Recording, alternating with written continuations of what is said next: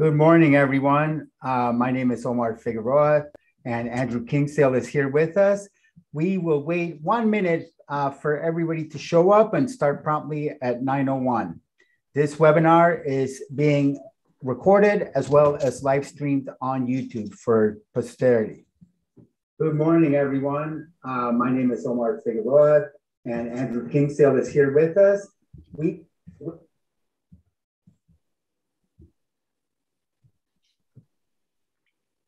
Okay, I think it's 9.01, Omar. Um, so why don't we get started? Hello, everyone. Uh, welcome. Uh, my name is Andrew Kingsdale, and I'm a lawyer with the law offices of Omar Figueroa. And this is a presentation on strategies for the New York cannabis market. Uh, so before we kick off, uh, we're just going to give our standard uh, presentation disclaimer here. Um, Nothing in this webinar should be construed as legal advice uh, or as an offer to perform legal services. Uh, and since all good legal advice is fact specific, audience members should uh, not act or refrain from acting on the basis of any information that's included herein uh, without seeking appropriate legal advice on their particular facts and circumstances. Um, and uh, this presentation does not create any attorney client relationship. So I'm joined today uh, by Omar Figueroa. Hello, Omar. Good morning. Good morning. Um, Omar has been a leader in the cannabis industry for over 20 years. Among other accomplishments, he's the director of the Na- he is a director of the National Cannabis Industry Association, the California Cannabis Tourism Association, and the Sebastopol Center for the Arts. He's also a chapter leader of the Sonoma County ACLU He's a founding lifetime member and former director of the International Cannabis Bar Association, a lifetime member of the NORML Legal Committee, and has been recognized with the rare Distinguished Counsels Award by NORML. And uh, he's also compiled uh, two series of books, one on California cannabis laws, and the other, which was just released last year, on New York's cannabis laws.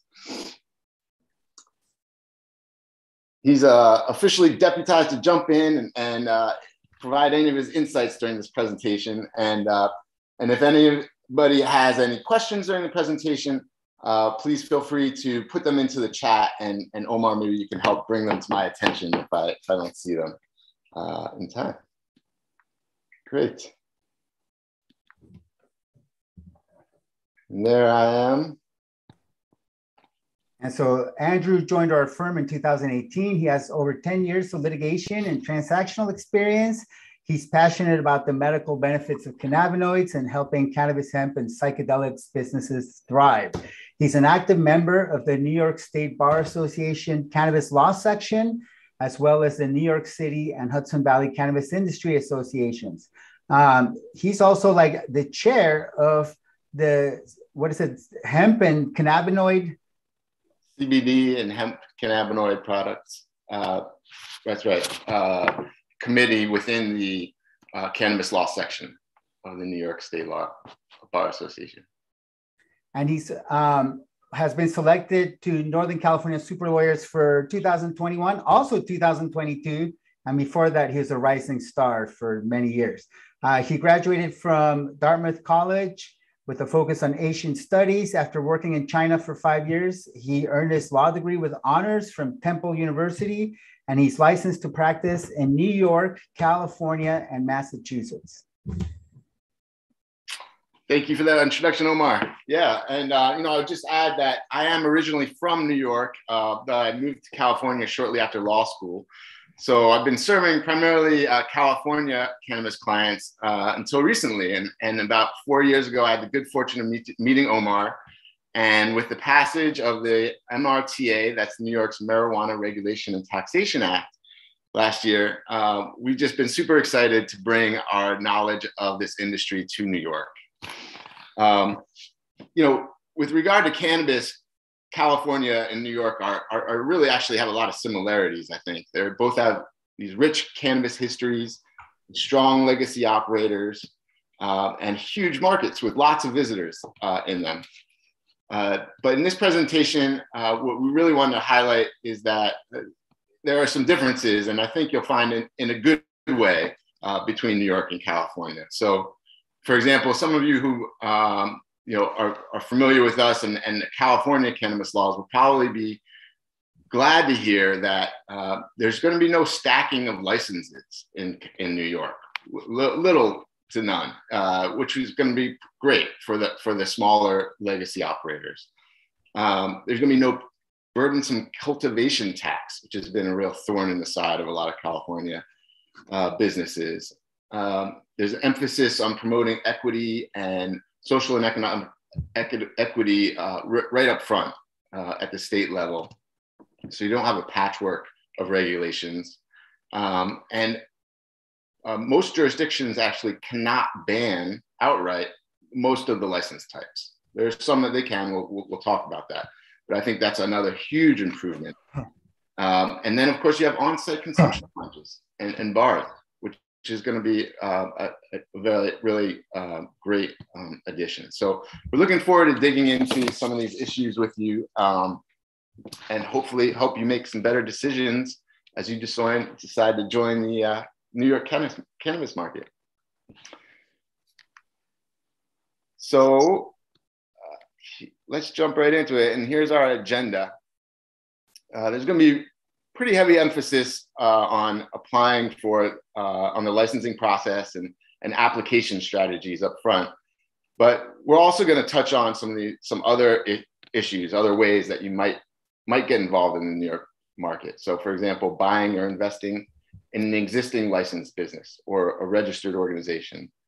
Uh, we have licensing intellectual property to, li- to uh, licensed cannabis businesses, selling services to licensed businesses, selling or distributing cannabis, cannabinoid hemp products, uh, and cannabis tourism.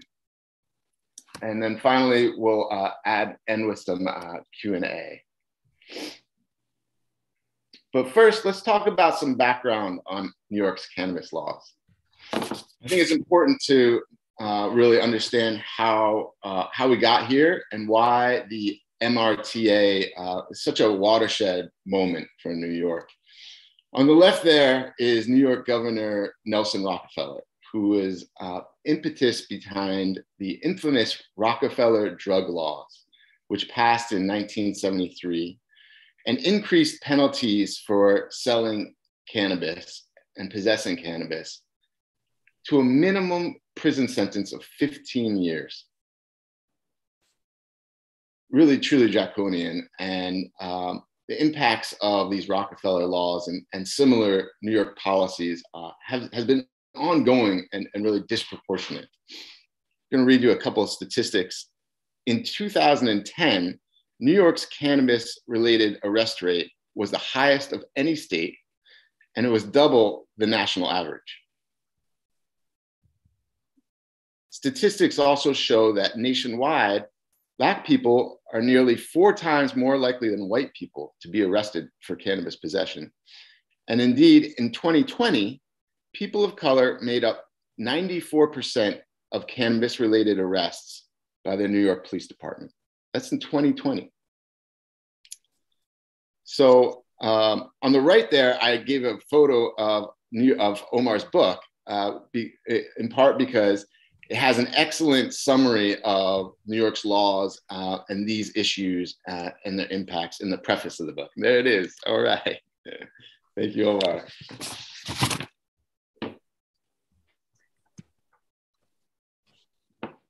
Well, the tide has begun to turn uh, and to right these wrongs.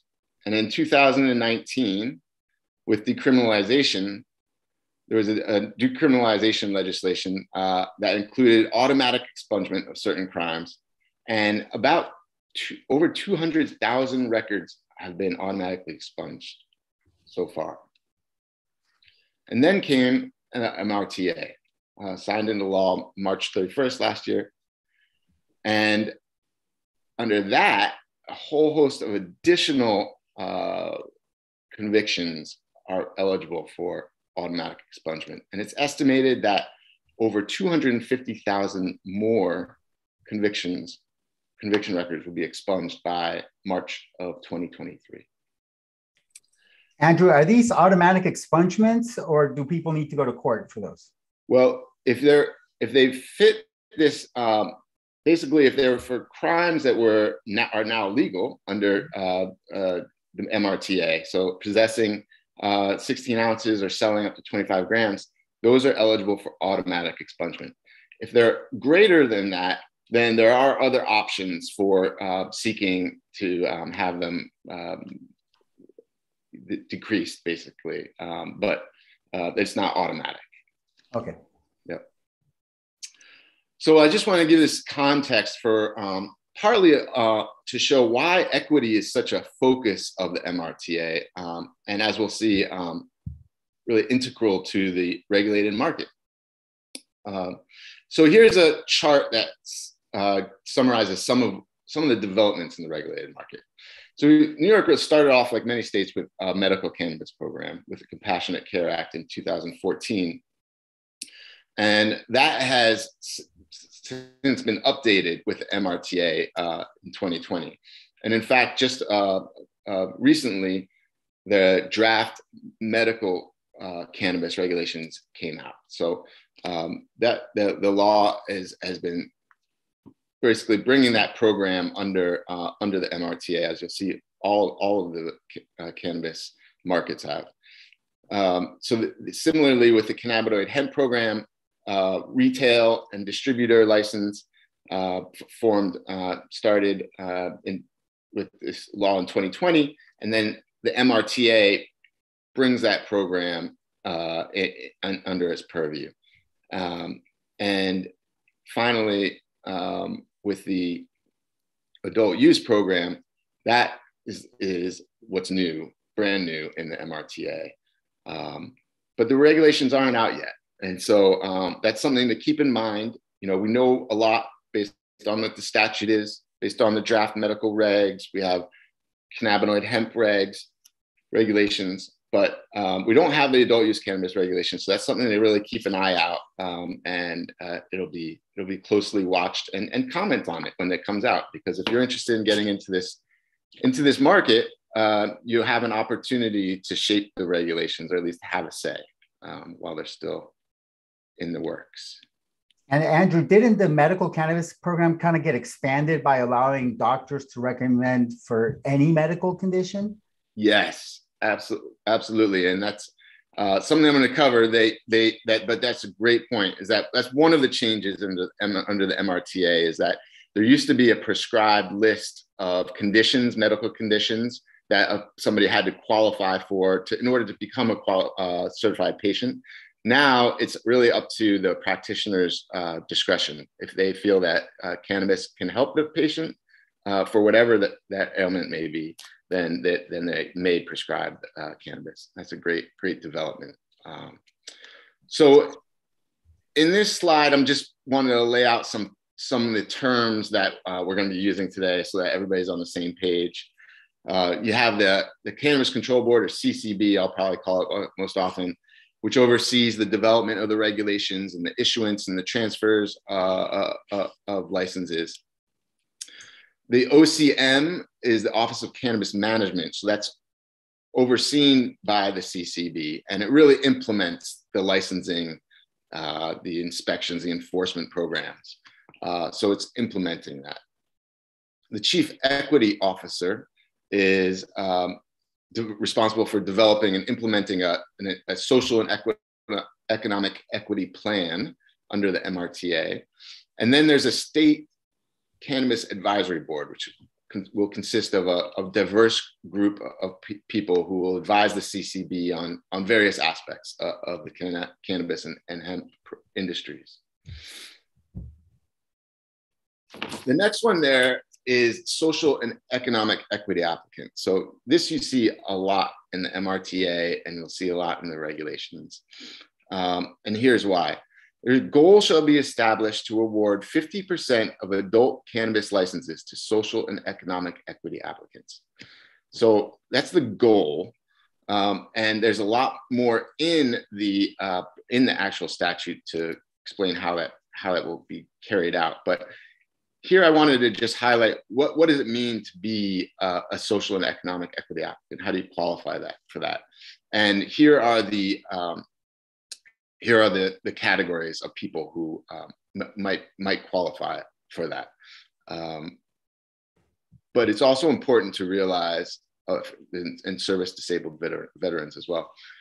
So if you're a business, how do you qualify for that? Well, it's spelled out uh, that in, in the statute so that if you're a business to be say if you want to be a, a, a minority owned business that qualifies for uh, one of these social and economic equity applicant status the um, one or more minority group members has to own at least 51% of the company. They have to have quote real substantial and continuing ownership of the company. And those owners quote must have and exercise authority to control independently the day to day business decisions of the enterprise. So it's not just ownership, it's also ownership and control. And that's one thing that I think uh, we should keep in mind when we're talking about you know, uh, applying for licenses and buying licenses, investing in licenses um, to be able to preserve that status. And now, finally. Andrew, can I ask you about distressed farmers? So that is, that's open to anybody of any gender, ethnicity? It is, and it's based on, um, you know, it's it's a kind of a complicated de- definition.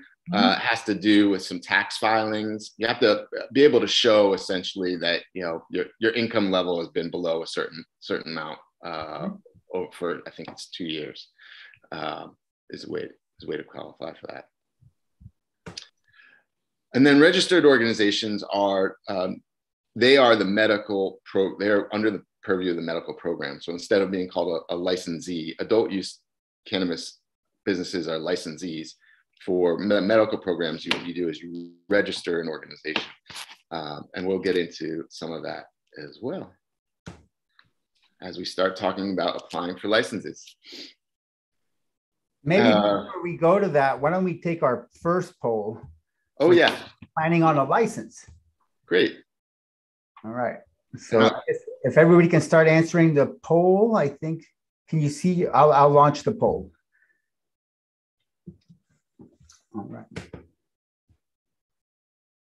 And if you could take a, a minute to answer. And so basically the question is, are you planning to apply for a New York cannabis license? And the options are definitely, probably, maybe, or just looking.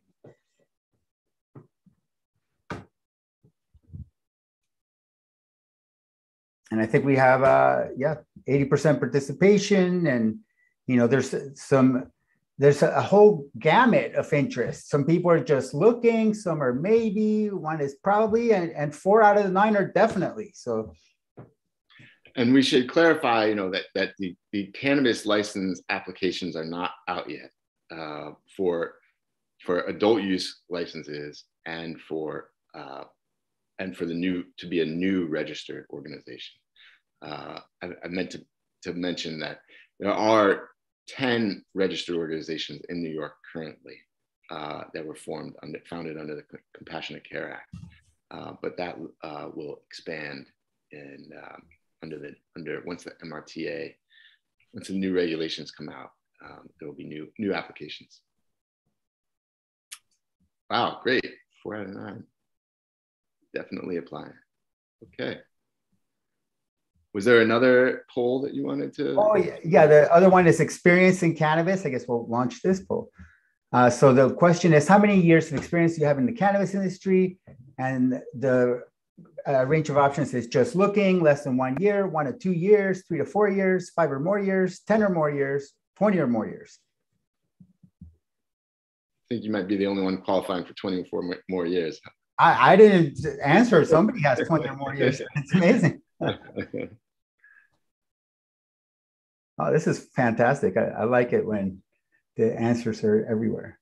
Um, so we seem to have like a cannabis experienced. Nobody's just looking. All right, so let me um, post a poll. There's the poll results for everybody. Very cool. Very cool. All right. So now let, let's get to uh, back. All right. Thanks. So as we'll see later on in this presentation, uh, major strategy or consider consideration, I guess, when when uh, applying for a license is which license type are you going to choose? Um, and we'll go over the list, but I just want to ha- highlight some of the factors at issue here. So, um, whether or not you're applying as a social and economic equity applicant actually has a, a, a pretty important role because um, as you've seen with the, the 50% goal, um, they, they are uh, they, they, are given some preference, and in fact, certain license types explicitly say that they sh- the granting of those licenses shall promote social and economic equity applicants. Um, and there's, uh, as I'll describe later, there's a public-private fund for uh, of 200 million dollars for social and economic equity applicants who may may want to apply for a, a, a retail license. There's incubator programs. There, there may be other loans available. So there are a lot of benefits to being uh, qualifying as a social and economic equity applicant. Cross ownership restrictions. That's whether or not you can own multiple licenses and or own licenses across license types. As we'll see, um, that is a big consideration, especially if you're planning, if you have plans to expand beyond just one, one, license, or if your goal is to vertically be vertically integrated. Uh, license transferability, uh, another big one. If uh, you know, uh, looking at ex- exit strategies or, or acquisition opportunities, things that you want to keep in mind. Site control requirements. Do you need to own or possess the premises of, at the time of the application? Um, as we'll see, you, there's a good chance that you may, especially for certain license types like retail and on-site consumption licenses. And that carries some risks with it because um, often you'll find in this industry, landlords will charge a premium uh, to cannabis uh, company um, tenants. Location requirements. Uh, the MRTA has a requirement you cannot be within 500 feet of a school grounds or 200 feet of a house of worship. So that's something to consider when looking into where, where to um, site your premises. Uh, local jurisdiction control. Um, so as probably everybody here knows, um, if you're interested in retail or on-site consumption license, you need to know if your local jurisdiction opted out and that was that had to be done by December 31st uh, last year. But it's also important to realize that even if your local jurisdiction did not opt out, they still have the ability to implement what's called time, place, or manner restrictions on your business. So, like green zones or hours of operation, all these things that you really want to uh, have a good handle on um, before you start applying.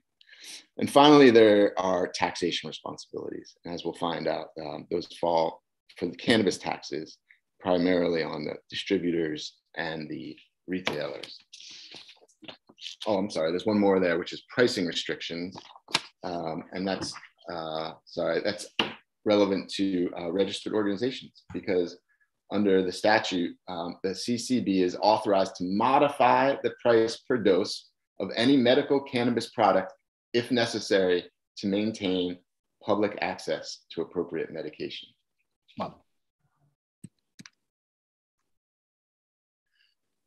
Speaking of medical, let's talk about uh, new registered organizations. So beyond the 10 that are already existing. Registered organizations uh, are can be vertically integrated. They're one of the few, aside from micro businesses and um, and one other type that we'll talk about, that um, can do it all.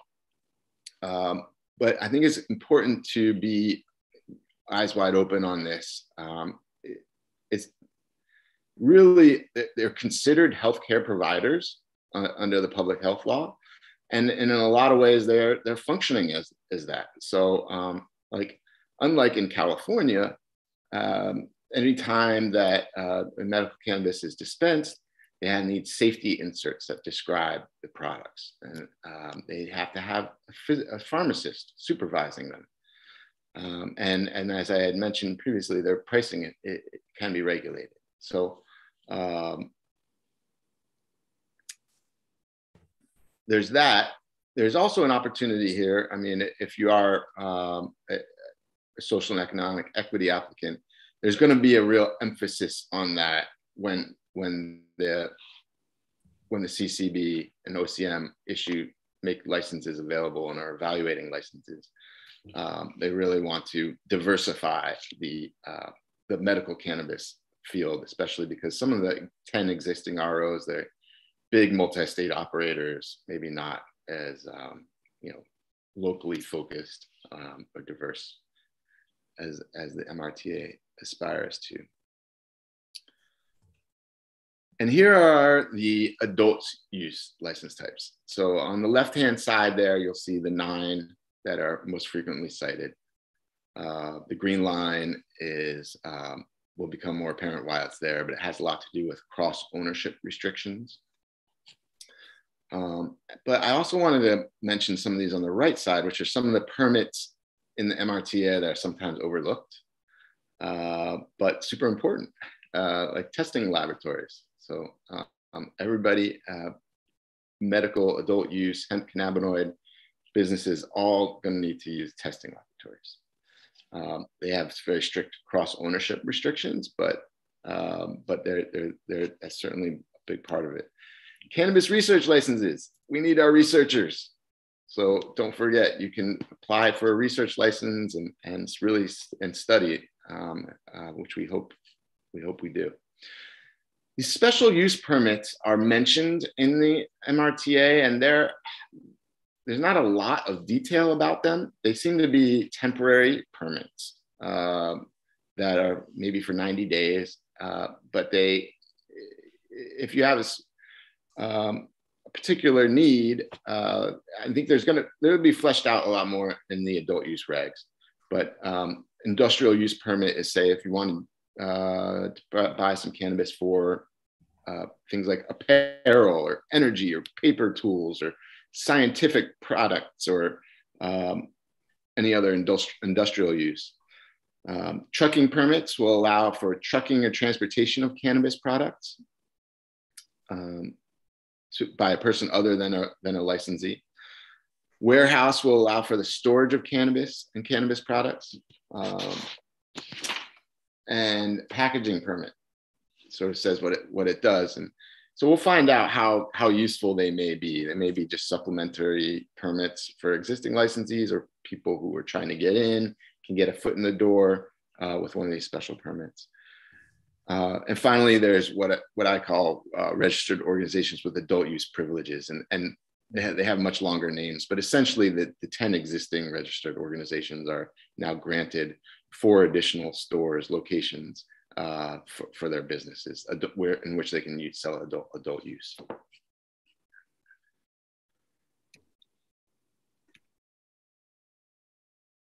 And so here I wanted to highlight just some of some of the selection criteria uh, that are in the MRTA in terms of their uh, adult use licenses. So for example, this first one really has to do with what I was talking about site control. Um, and it's a general requirement that the applicant possess or have the right to use sufficient land, buildings, equipment uh, as described in the application. Or, and here's the benefit if you're a social and economic equity applicant, you just need a plan to do so. Uh, similarly, um,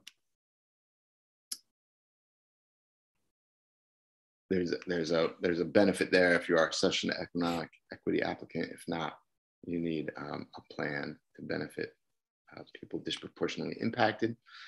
And this last one relates to um, proximity to other to other stores. So um, they are um, going to be conscious of having too much concentration uh, in one in one area geographically.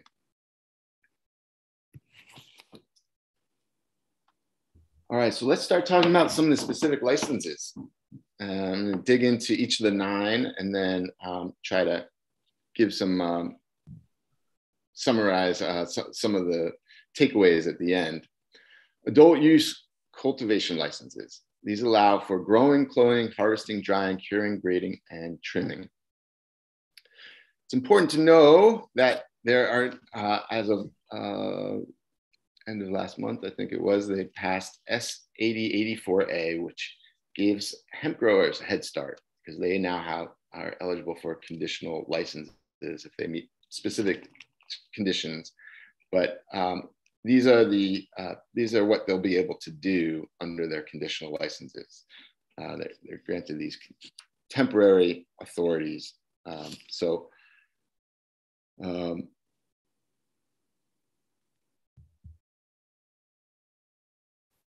the goal there, I should just mention, is that, that, there's enough supply of product uh, when you know retail uh, stores come online. Um, but it's not without controversy because you know hemp growers sometimes don't don't necessarily quite meet the, the diversity and equity uh, goals of the MRTA. So that's why um, McDaniels, board member uh, Reuben McDaniels, mentioned on, on a, a, a, presentation that he gave recently that they're working on uh, finding ways for equity applicants to um, be have a leg up on the indoor cultivation when those licenses become available. Because the conditional licenses don't involve uh, indoor. They're just uh, mixed light outdoor and mixed light. Um, so the indoor cultivate if you're indoor cultivate if you want to do indoor cultivation and you're uh, a social and economic equity applicant um, that there's, there's likely to be a good opportunity there. Uh, on the cross ownership issue, uh, you can only have one, but potentially multiple locations under that one license. And you can also have um, license, a processor license, a distributor license, and a nursery license. We'll talk about that distributor license because it's, it's a little bit restrictive if you have multiple licenses there as to what you can do, but uh, something to keep in mind. And then finally, and this is sort of some speculation on my part, but uh, I think there may be, uh, so in the hemp cannabinoid regulations, uh, recently revised to uh, add a craft designation. Um, and so that was for uh, small growers, growers of less than, let's see, less than a, a thousand pounds of dried hemp annually, mm-hmm. um, and who hand trim, hang dry, hand package products. So uh, I suspect there may be something similar in the adult use regs coming out. We'll have to see, but uh, perhaps an opportunity for some smaller farmers um, to to. And this will be an official craft designation. We don't have that in California. Like people mm-hmm. brand their product craft all the time, and you know, for all you know, it's produced in a massive industrial facility. That's right. That's right. And and in New York, they're going to have standards for it, which is which is great, I think. Um, okay, so let me see here. Well, now we're on to nurseries. Let's check my time here. Okay. Um, for nurseries, uh, this is what you're allowed to do. Um, and as with a cultivation license, you can have you know cross ownership between these, we'll just call them like producer uh, uh, licenses. Here's one where the, the statute does say that it's the granting of the license shall promote social and economic equity applicants. Uh, processors. So this is what's been called manufacturing in California. Um, and here's what they are allowed to do. Again, like the cultivators, hemp processors have a head start. Um, so um, there's that. And, and, and, and again, I think that might trigger some additional equity requirements once full licensing uh, becomes available. There is a there is an equity um, mentorship program under the con- conditional licenses. Um, so if you're if you qualify as an equity, social economic equity applicant, uh, and you're interested in cultivation or, or processing, you might look into that mentorship program. Could could pro- possibly provide a, a, leg up. Um, and processing is, is similar to, to cultivating. So you get only one license, potentially multiple locations and you can have these other producer licenses. And, and importantly, you could apparently do it all on one premises. which is a which is a big benefit. Uh, and then finally, the um, processors are the ones who are going to be submitting the you know the products to the to the laboratories. Um, so uh, something to keep in mind. Um, and and I thought this was interesting that the CCB can actually tell you which laboratory you have to use, essentially. Oh, yeah. That's unprecedented in California. Now, uh, a question about these conditional licenses where the uh, hemp growers and processors get a head start. You know, what are strategies for entering via that way for somebody who's not already an existing hemp process processor? Like buy an ownership interest in an existing hemp processor? Well, the regulations haven't come out yet. The, the legislation just recently passed. So there's going to be regulations that, that come out specific to the conditional licenses. Mm-hmm. Um, but um, you know, could you buy? There, there are uh, ownership transfer restrictions in in the statute for these um, conditional license holders. So you'd want to, you could look into that. Um, but before they become a conditional license holder, is it possible to acquire maybe a existing hemp processor? Ah, that's a good question. I don't know that answer yet. I don't think it's in the statute, but uh, um, it's, a, it's a, something, some possibility, certainly. And I think we have a question from um, an attendee. When will the S8084A regulations drop? Any insight? Well, this is, uh, you can see the dates here for, say, for processing, I think the same for cultivation. So I, if I get your question right, uh, they will have the right to process um, until uh, June 30th, 2024.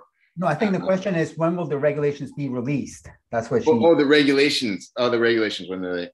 Yeah, uh, I, I don't have any any insights on that yet. You know, everything's everything seems to be taking um, a little longer than than suspected, um, but which is something that you can keep an eye out, and you can also uh, go to the New York uh, Cannabis, uh, the OCM's website.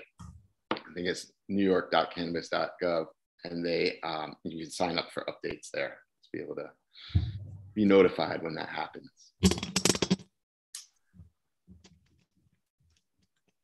All right, so let's talk about distributors. Um, distributors always sound like a good idea because you know it's it's nice to be the middleman but um, there are some big problems with it in California, and there are also some issues to consider in uh, in New York as well. One uh, that I highlighted here, literally, uh, is that if you are, are if you have a say a distributor license, um, and you also want to uh, be a cultivator or have a cultivator or processor license, you may do that, but the the, the limiting factor is that then you can only distribute your own products. Mm. Um, so that could really hamper your, um, at least your wholesale offerings. So something to, something to consider. The other big one is taxes. And this is pretty unique in, in New York. So New York has, uh, has an excise tax that's going to be paid at the, the, retail level. But before then, there is this, um, it's a per milligram of total THC tax. So it kind of acts like alcohol and the way alcohol is taxed by proof. Um, but it's not really been done much in, in the cannabis industry. And, um, and some people say uh, it's going to be, well, let me just tell you what it is. So, first, you have edibles taxed at three cents per milligram of total THC. And then there you can see concentrates. Uh, I guess it's 0.08 cents uh, per, per milligram, and then cannabis flower, 0.05 uh, per milligram there. And so you're really going to have to do some kind of careful tracking uh, of of um, of your of the various products that you have, and this burden falls on the distributor to pay these taxes to the state. Um, you know, some say it, it's going to be super complicated. Uh, you're going to have a lot of compliance costs. Uh, to be honest, we, as we've seen in Omar with the cultivation tax and what a headache that is when it has to get passed on between from the cultivator to the manufacturer to the distributor, and it gets super complicated. I almost think that this scheme is is, is a little bit uh, it's not that bad, maybe. No, no, I, I don't think so. I, I would, you know, get rid of focusing on THC because, um, you know, the, the, it's, um, I don't know. I, I don't, I don't, I, I guess it, it discourages people from getting high potency products, but when you use high potency products, you use less of them and mm-hmm. they're healthier in order to achieve the desired effect because there's less intake of the other components. And so I don't really understand like the public health reasons for like, you know, trying to make it more expensive to have uh, high THC products when in reality, like people will use less product to get the desired effect. Right. You know? And so it's almost like if, if you're trying to catch a bus and you got like this near beer like you have in Utah. Like I remember going to Zion National Park after a long hike, and I was like, "All right, I just want to catch a bus. You know, I know if I drink beer, I'm golden." And I'm drinking like six beers to get that desired effect. Yes, yes, exactly. Um, and that's that's exactly the counter argument for why this sh- is not going to work. And it's totally possible that New York might reconsider this because it is, you know, unique and it's and it's gotten some blowback. Um, I will say that um, you know, the what I've heard is the, the thinking behind it was, um, like you said, it was uh, Cuomo has this had this quote uh, before it was signed where he said one of the goals of legalization was fostering and promoting temperance in consumption. Mm. Uh, so it's sort of like a, a Pigovian tax scheme where you're they're trying to prevent people from over consuming. Uh, whether or not that's that's a, actually going to happen, I, I don't I, I think I, I side with you on that. Well, I think the way to promote temperance and consumption is not to tax THC, but educate people about like terpenes and the other qualities of cannabis and say this is where the value is. Just like with alcohol, like wine education has taken the wine consumer away from looking at like the proof of the wine, you know, the high potency fortified wine is better. That's not the case at all when it comes to like refined consumption of wine. People are, are like uh, consuming wine and imbibing for taste not yeah. just for alcohol content. Right. right. And I should plug Omar as a as a Ganjier, one of the founding members of the Ganjier oh. Council. He knows he knows what he's talking about when it comes to the. I spent a lot of time thinking about this with uh, the other Ganjier people. Yeah, that's that's awesome. So I guess what I would just say is, uh, in terms of strategies, I mean, assuming this tax stays on the books, I think what you want to do is, you know, really make sure you have a New York specific inventory and tracking software system uh, because this is different. And, and you might also want to try to seek some reassurances from your testing lab uh, on those THC measurements because if they're wrong, that burden is falling on the distributor to make sure that they're paying the taxes accurately. So you might want to, uh, you know, shift that burden a little bit to the testing lab. Well, yeah, you can enter into an agreement where they agree to indemnify you if the lab results are wrong because it's not your fault; it's the lab's fault. Yeah. Uh, but they may not be willing to do so if there's, you know, only a limited number of labs and they have monopoly power. That's true. That's very true. Oh, okay. Well, I think we had some strategies that you had at, at the end of the last slide that looks fantastic. Oh, yeah. Well, these slides will be available on our website, right, Omar, the, uh, mm-hmm. later on if anybody wants to I think I covered those.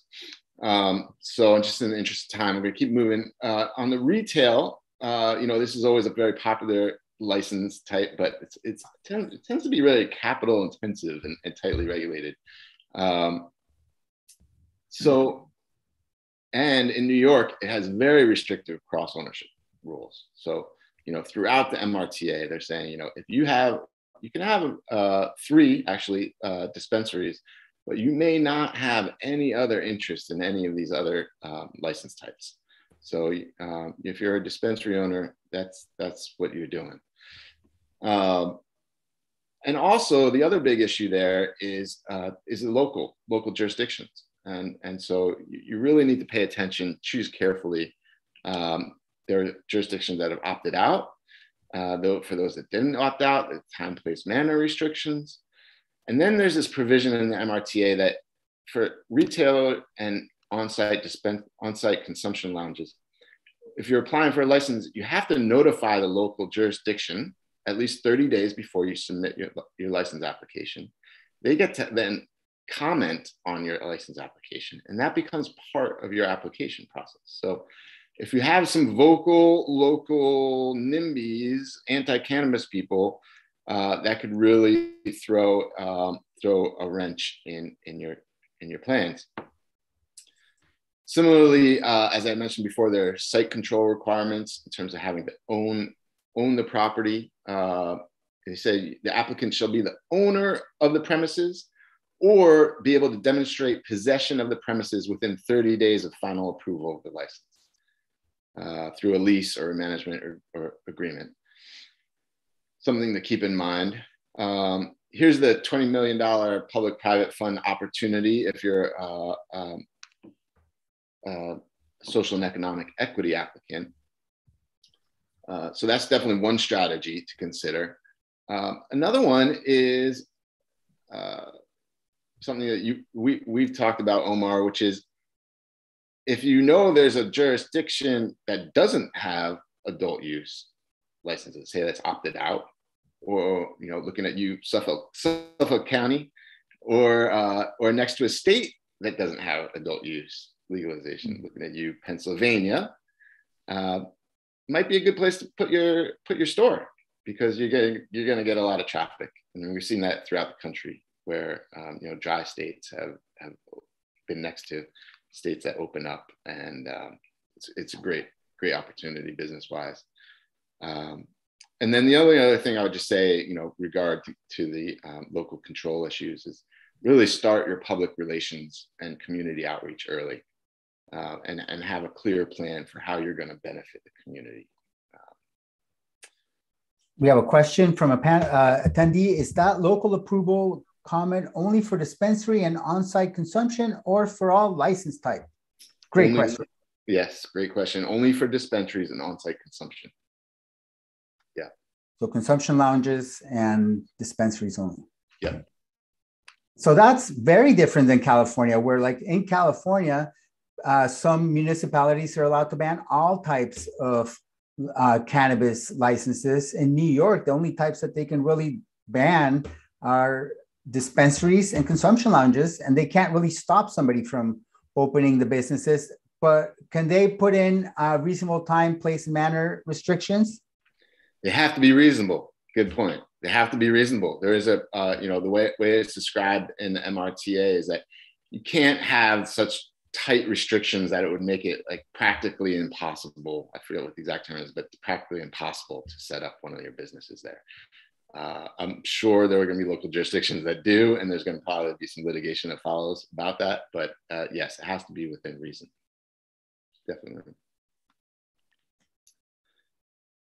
All right. So on-site consumption, uh, like it says, uh, you know, you're selling to consumers who consume on site like a bar. That actually is a quote from uh, Tremaine Wright, the CCB uh, chair of the CCB. That's what she said uh, during a presentation. I like that. Kind of simplifies it, makes it real clear. Um, again, just like the, the retail dispensaries, you have the same issues that we just talked about in terms of local control. Here's, an, here's one that's going to be unique to on-site consumption lounges. So New York, and this is again, not on the books, but I'm I'm predicting something to look out for, uh, and maybe part of the regs. So New York has this dram shop act, and a lot of states do, uh, which in New York prohibits sales to any person actually or apparently under the underage, and to any person visibly intoxicated. Uh, and so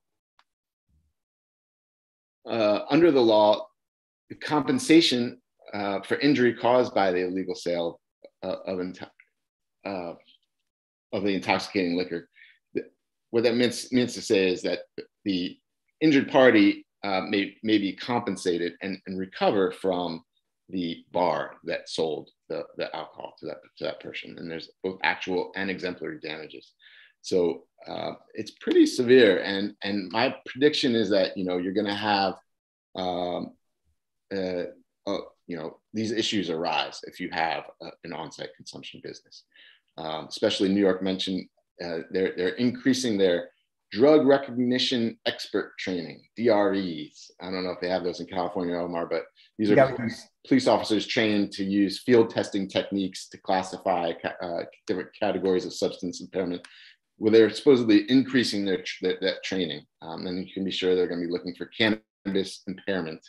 Um, so, some strategies there that I just mentioned. Um, maybe hire somebody with bar experience, you know, hire a manager, somebody who's managed a bar before, probably a good mm-hmm. idea because what you really want to do is implement uh, a risk management strategy that incorporates, very importantly, insurance protections. So, you, you know, you want to work with an experienced insurance broker uh, and get some good liability insurance. And you should also have some clear written policies and procedures um, that will mitigate the risks. Um, and, and training and you know post warnings about potential impairment mm-hmm. uh, coordinate with ride sharing services. So you know consumers will, will refrain from driving. You know these are there's strategies that you can implement to try to reduce this uh, potential liability but it, it, it's going to be there. Yeah an attendee uh, commented i feel like police officers uh, sit outside these consumption lounges to see who's driving and that's definitely a phenomenon also in the alcohol industry. I've had clients, DUI clients, who uh, went to a bar and the cops were sitting outside and pulling everybody over, you know, um, just so that they could mess with them. And it was almost like shooting fish in a barrel for them. Yeah. Yeah. It's uh it's gonna be there. There's no doubt about it. All right. And then uh let's see my personal favorite delivery, uh, I think is, is really cool. Uh, is that something that can be banned? No. local jurisdiction. Oh. No. Uh, so you can only have one license, but here, check this out. Each delivery license may have a total of no more than 25 individuals or the equivalent thereof providing full-time paid delivery services. So I think the intent here, and probably what's going to work, is, is to um, really keep them keep them within scale. You know, uh, I, I don't know if Eaze is going to be able to take off there. Some some other mega deliveries, and uh, so I think it's a great opportunity. As you know, New York has a rich delivery network, legacy delivery network already. Uh, there are no local opt-outs. Uh, and this employee cap, I think, means there's going to be some robust competition throughout the state. Um, of course, there's going to be issues with you got to own your vehicles, vehicle insurance, um, and, and, so on. But we'll have to wait and see uh, what happens there with the with the regulations. And finally, uh, let's see if that's finally almost next to finally, uh, there's the mo- micro business, and so this is where you get your vol- your your vertical integration. You know, it's it's really intended to be for the craft producer, and um, and so if you want to stay small and focused, uh, then um, this is, I think, a great, a great option. And cooperatives, uh, they also actually can cultivate, produce, and distribute. So they're sort of like vertically integrated, but they can't sell to the end consumer. Um, and they're democratically controlled. Only New Yorkers need apply. No cross membership. Oh, okay, before we go, a question from an attendee. Will delivery be receiving their product from cultivators, processors, or dispensaries? Delivery, uh, deliveries will be receiving their product from distributors. Okay. Yeah, that's the way it'll work. Uh, so, takeaways, strategies. Choose your lane carefully. As we've talked about there's a lot of cross ownership restrictions. So you want to think carefully about, you know, which one you want to choose. Um, and that, and um, the next one is location, location, location. You have which jurisdiction you're going to be in. Are they, they have opt out? Have they opted out? Do they have time, place, manner restrictions? Uh, and then even within the once you find a jurisdiction, you really want to think about well, how close am I going to be to other applicants, how close am I going to be to schools and churches, uh, and know your neighbors. You know, are, are you going to get a lot of pushback because that we've seen in California is constant uh, issue. And then there are equity, equity, equity. It's a huge focus of MRTA, major goal for New York. Um, and so you really want to consider whether or not uh, your company can qualify for, uh, for the, as an equity, social and economic equity applicant. Here's some things you can do now because um, license applications aren't available yet, but there's a lot you can do now. I'm to highlight here five big ones. One is draft a business plan. Whenever Tremaine Wright is asked, How do I get started? She says, Draft a business plan. she was a small business owner herself. And it's actually a requirement, uh, as you'll see under the medical regs. You have to have a business plan as part of your application. So you might as well have one. Uh, the other is to thoughtfully form a limited liability entity, which will then be the applicant. Um, limited liability entities uh, they do what they say for the for the members and shareholders. They they help to limit your liability.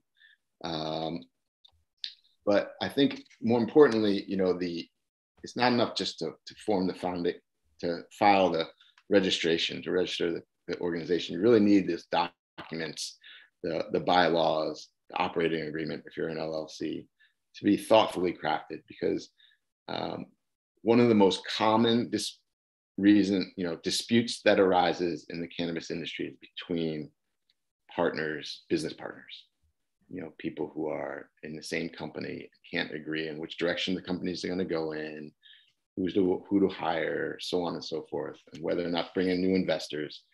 Uh, so you want to think through some of those issues um, early on.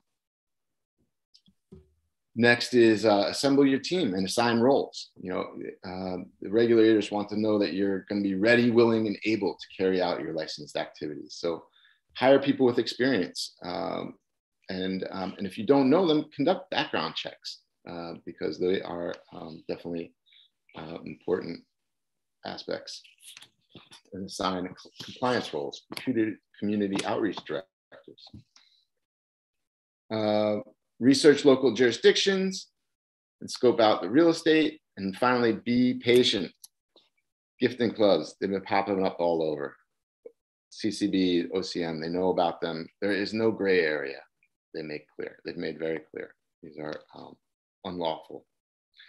Um, so, and they might jeopardize your ability to apply for a license once once those applications become available.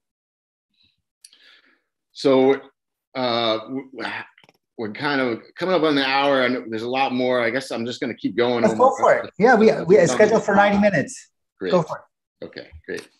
So let's jump into, I think that that concludes our, our licensing uh, recommendations and, strategies. Let's jump into some other potential ways that people might get involved in the cannabis industry. So buying or investing in uh, a licensed cannabis business or registered organization. Here are some of the top issues that uh, might arise that you want to consider. License transferability, obviously, we've talked about. Um, even when licenses are transferable, uh, they are, you often, generally, we're going to need approval from the CCB. So that's something to keep in mind. What are some licenses that are not transferable? Social and economic equity applicants may not transfer or sell their license within the first three years, except to another qualified social and economic equity applicant. Something to keep in mind. Uh, changes of, of 51% ownership in a company or 51% of the officers and directors of the company also may require CCB approval. And without it, if you if you don't get seek that approval, the says the license will will be void. So be, do do do uh, go about that carefully uh, if you're investing uh, buying a company. New York doesn't have a residency requirement for um, owners, but it does have require a certain nexus to the state. Either you've been incorporated incorporated in the state, or a majority of the members are from New York State, uh, or they have a principal office in the state. Uh, so this might arise and say this issue might arise and say a merger where the New York licensee is merged into a, a foreign corporation, like a Delaware corp, like a Delaware corp, right? That doesn't have uh, headquarters in in New York or uh, majority of, of, people in uh, members who are new, from New York residents. Um, so it's something that something to keep in mind because you're you're not just an applicant the first time, you have to reapply, reapply to two-year licenses. So you have to reapply. Um, again, preserving the company's social and economic equity status, as we discussed, the many benefits there. Uh, so if somebody is, if the company does qualify, you might want to make sure you preserve that um, by ensuring that the um, minority, if it's a minority-owned business or a women-owned business, they are remaining in control. Uh, they have sufficient control of the company. And then finally, here's one that's unique to New York, which is Section 630 of the New York Business Corporations Law. Under this statute, the 10 largest shareholders of a privately held company, it could be a corporation or LLC, under certain circumstances can be liable for the unpaid wages owed to the, to the company's employees. Uh, this is, uh, most states don't have this, but New York still does. Uh, it applies to, to closely held companies. So if you're investing in a New York licensee and they're an LLC or a corporation, you really want to first check the cap table, see if you're in, if you're among those 10 largest shareholders. Uh, and then, you know, you might want to have monitor how the how the company's employees are being compensated. You know, keep an eye out for something like deferred compensation because if things go south, then you might be on the hook for that compensation. Something to be aware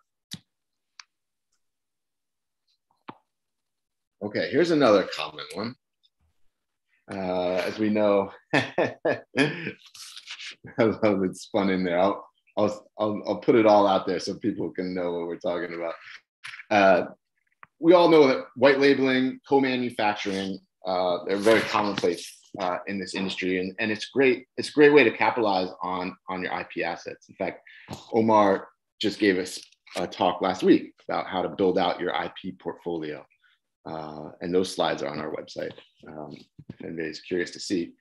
So, a couple of things to keep in mind, though. Um, first is, uh, as we all know, there's no federal trade, no trademarks, federal trademarks for cannabis uh, and you can't sell it across state lines. Um, and additionally, New York has what's called a use in commerce requirement. Uh, so, unlike federal law, where you can uh, file for an intent to use a trademark in the future, you actually have to be able to prove that you're using the, the trademark in commerce in New York. So, the strategy here is that if you're going to license your your trademark to uh, somebody in New York, go and get it registered as quickly as possible uh, once once you have that use in commerce requirement satisfied. Um, once you, as soon as you have those products, they're made and start off being offered, um, go register it. That will give you protection throughout the state of, of New York. Um, and then the other one is, is, a, is a caution uh, because New York, like some many many other states, has a has a franchise sales act, um, but the New York's definition uh, is broader. Uh, definition of franchise is broader than in many other jurisdictions. So uh, in New York, the definition of a franchise has two elements. One is either there's a trademark or a marketing plan that's prescribed in substantial part by the franchisor, and the second part is that there's a franchise fee is paid. In other jurisdictions, like in California, you need both the trademark, the marketing plan, and the franchise fee. But New York only boils it down to two. So uh, you don't want to be an unintended franchisor uh, because you know franchisees have registration requirements there are particular taxes that need to be paid. Uh, so it, it's um, something that you really want to, um, and you could open yourself up to civil and, and criminal liability if you are an unintended franchisor. There are even restrictions just for offering trademark licenses, you know, that might be to, to multiple people. Um, so you really want to check with a, uh, a lawyer on, on, you know, look into the Franchise Sales Act and, and, and check with a lawyer before you start um, licensing your trademark into into California or into New York. Sorry. The other one uh, that I want to talk about is trade secrets. So um, let's say you know you want to license your secret special edibles recipe or your uh, super duper flower genetics uh, to New York processors or growers. Most likely, these are going to be protected by uh, trade secrets first thing that you need to know is um, genetics are generally transferred through seeds, uh, which are considered part of the ca- cannabis plant under federal law. And so they're not legally, you can't legally transport them across state lines. Um, that's the first caution. The other one there might be a workaround. I mean, I guess you know, uh, there's people that, who can get tissue cultures from the stock of the plant, and the mature stock of the cannabis plant is excluded from the federal definition of marijuana.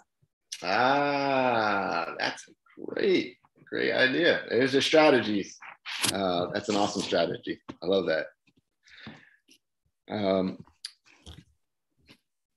good. So then, so then the other one has to do with uh, New York's trade law, uh, trade secret law which is unique and different than most other states. Almost every other state has adopted the Uniform Trade Secret uh, Act, not New York, and I think not Massachusetts. Um, so New York has uh, these six-factor balancing tests to determine whether or not the, uh, a trade secret exists. And it also has what's called this continuing use requirement, mm. uh, which says that um, a trade secret must be a process or a device for continuous use in the operation of the business. How, how might that come into play if, say, you're licensing a uh, recipe that's only used, you know, by the processor a few times a year? Mm.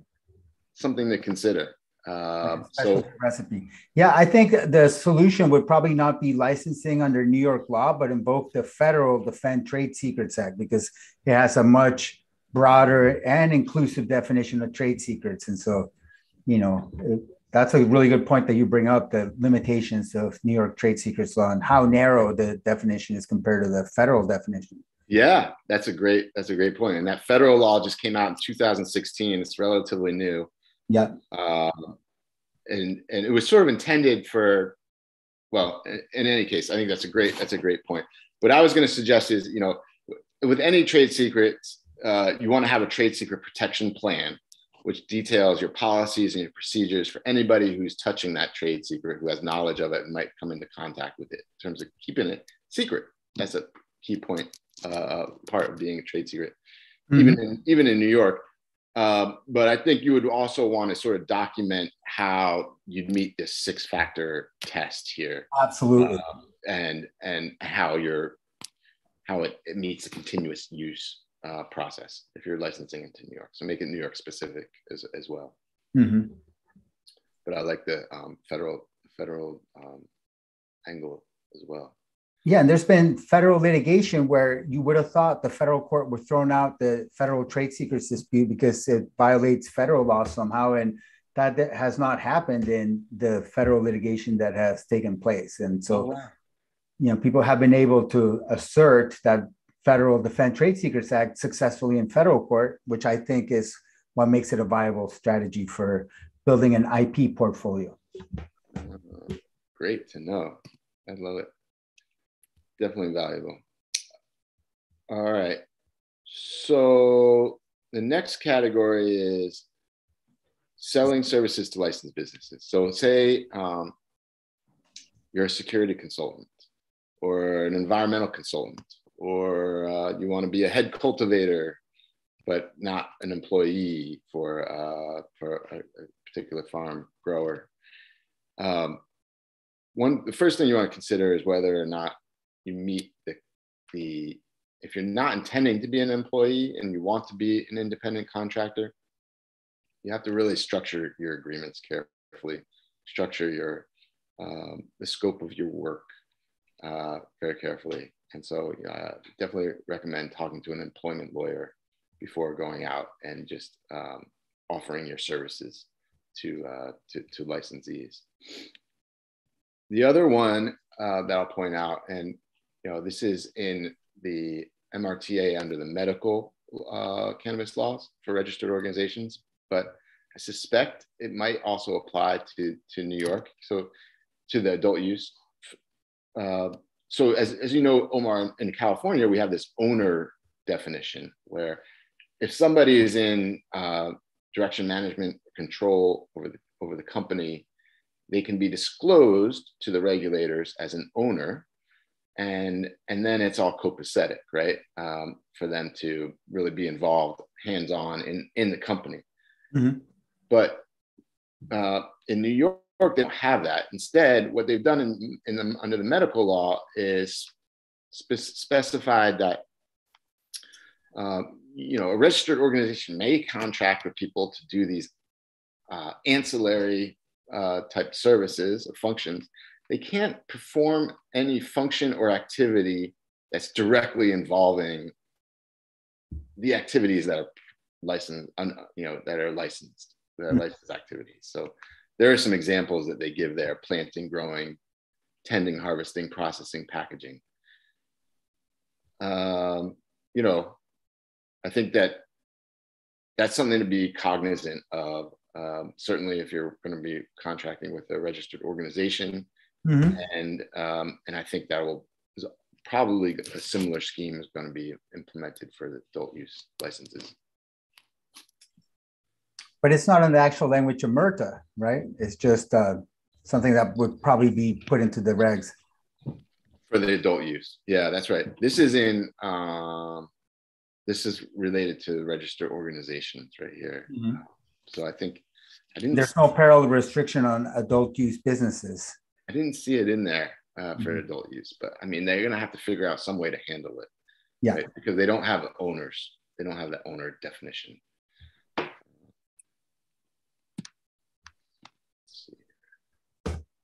All right, so here's here's a strategy um, that um, one to consider.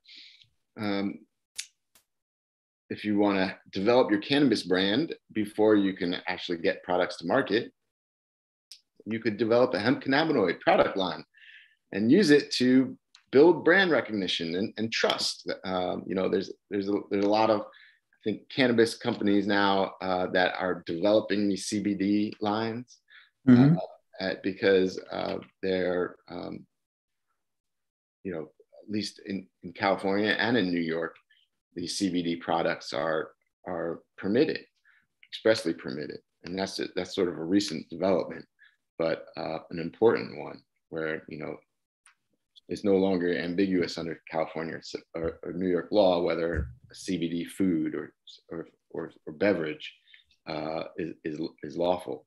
So um, as you can see there, the licenses and permits are relatively cheap. Um, and, and New York um, allows this wide range of, of product types that um, for hemp cannabinoid products.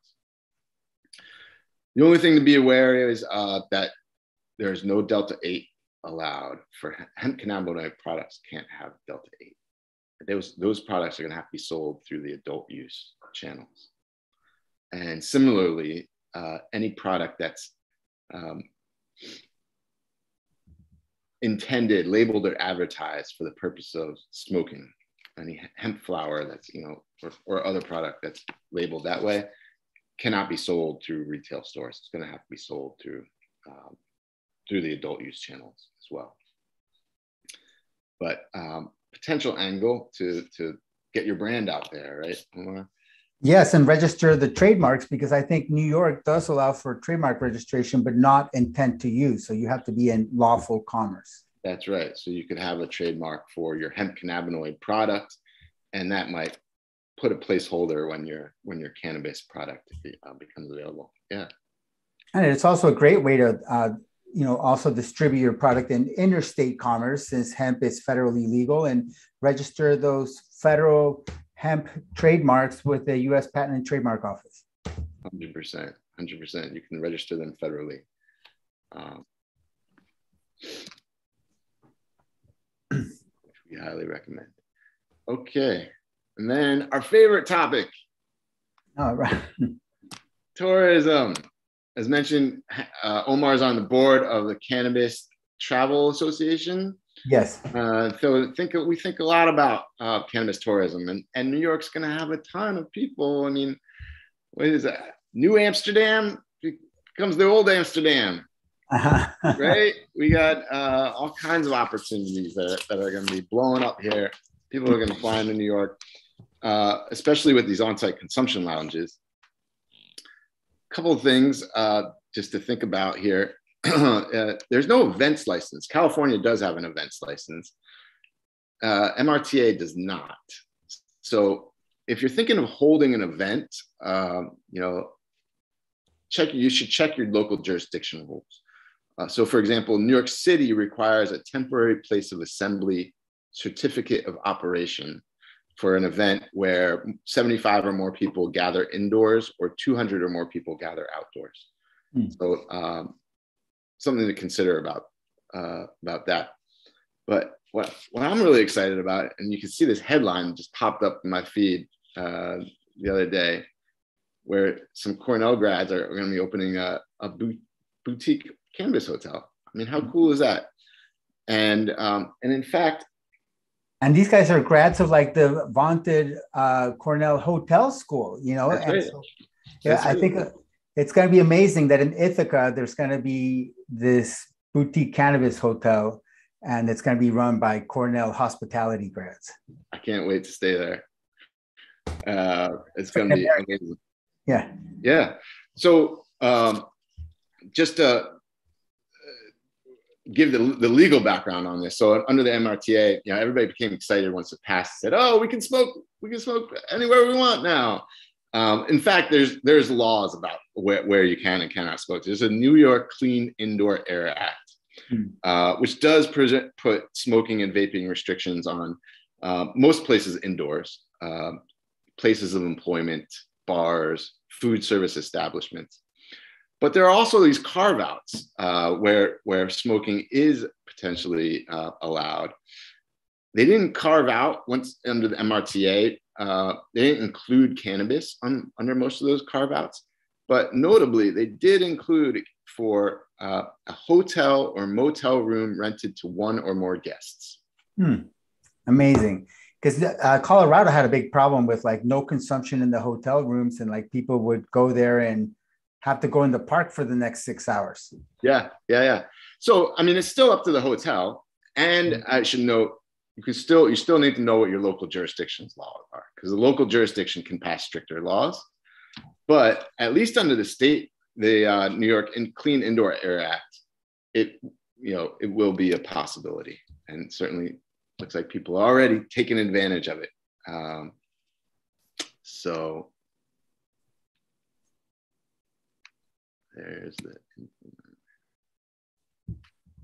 Great. I think that's all I have for today. Uh, did we get any other questions? No, I think that's it. I guess last call for questions. Please post your questions to the chat or raise your hand if you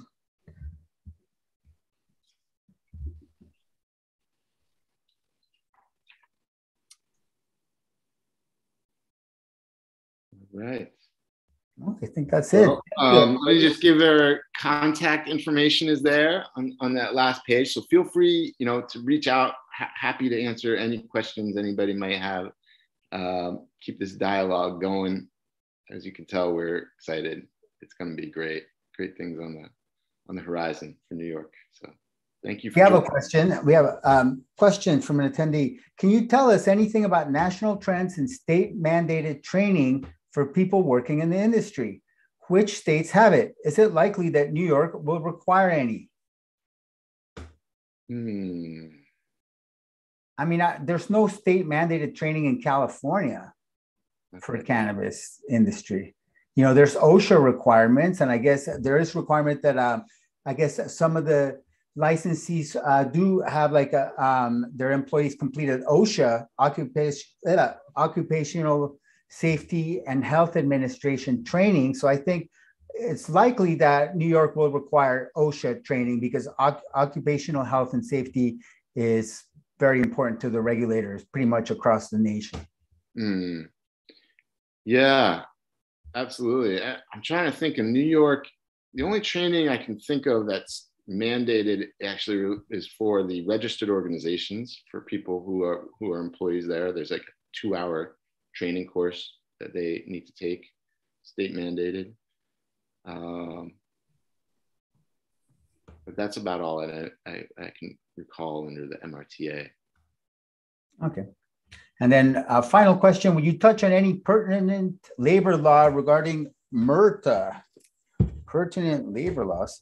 Well, you know, I think my book actually, like we try to uh, like separate, you know, the different parts of the law, but do you know any pertinent labor law right off the bat? Well, uh, in terms of uh, employees, employee use mm-hmm. of cannabis, there actually are uh, very strong protections for medical patients who are mm-hmm.